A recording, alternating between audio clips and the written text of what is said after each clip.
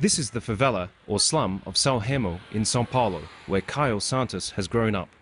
The 18-year-old has seen changes over the years. The violence that once dogged the favela has fallen. Modern retailers have started to enter and access to schools has improved. But Caio, like many young Brazilians, wants more. He is a member of the C class, the new middle class who now number half of Brazil's 200 million people. Although they have benefited from a stronger economy in recent years, they are dissatisfied with the poor quality of public services. They will be crucial to this year's presidential election, which kicks off on Sunday. Poderia ter um, um percentual de crescimento muito maior do que já foi feito. Então é por isso que, que, que eu creio que tem esse tipo de, de cobrança da sociedade, principalmente das pessoas que têm uma classe menor de, na sociedade, algumas se juntam para fazer protestos, é porque a melhora poderia ser muito maior. This year's election is really a battle between two women from different parts of the Brazilian uh, political spectrum. On the one hand, we have the incumbent president, Dilma Rousseff, of the Workers' Party, which has built over the past 12 years in Brazil a strong social welfare system. But in recent months, the economy has slipped into recession. On the other side is Marina Silva, a former environmentalist and senator, who for Brazilians represents a voice of change. Miss Silva entered the race suddenly in August after the tragic death of her running mate, Eduardo Campos.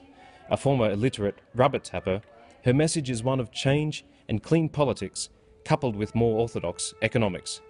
But she lacks the backing of a major party, and in recent polls, President Rousseff has overtaken her for the first round on Sunday and in the likely second round runoff on October 26. During its 12 years in power, the PT has reduced unemployment to record lows, implemented wage rises, and introduced extensive social welfare benefits. Poverty has declined. Benedito Furtado Giacchino a mechanic in São Paulo's Jardim Colombo favela, says he will vote for the PT on Sunday. É?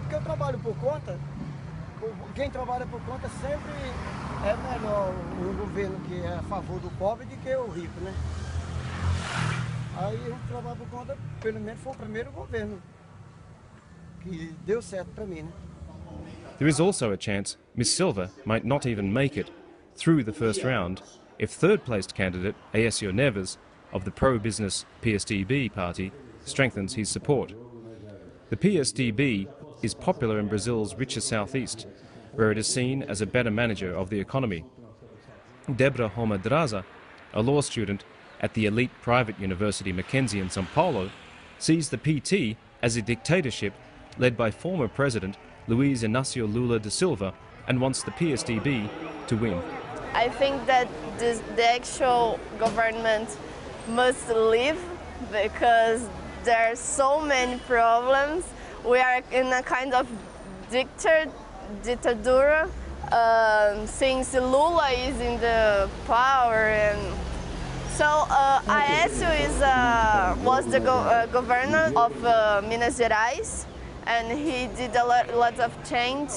Clearly this election is still too close to call. While Miss Rousseff is the favourite, much will depend on how young people from the new middle class, such as Caio from São Remo, will vote. Nos últimos anos só vem o PT, o PT, o PT e não teve grandes mudanças. Pode ser que com a Marina tenha e a esperança do povo é essa, né? Torcer para uma grande mudança, como se ela entrar vai ser uma grande mudança. Voters such as Caio may be putting too much hope in Miss Silva's ability to change Brazil. She lacks strong backing in Congress and is likely to struggle to get reforms through. But he is right about one thing. Brazil's future hangs in the balance. More of the same will be bad for an economy that slipped into recession this year. Whichever president wins this month, change will be the order of the day. This is Joe Leahy for the Financial Times in Sao Paulo.